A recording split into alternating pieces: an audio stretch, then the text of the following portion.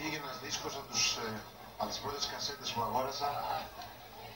Τη μία πλευρά την είχε η Σοφία Βόσο, την άλλη πλευρά τη μοιραζόταν με τον Διονύση Τσακνή. Ο δίσκος λεγόταν Καλή Ακρόαση. 1986 και μέσα είχε το εκπληκτικό τραγούδι Φιλαράκι.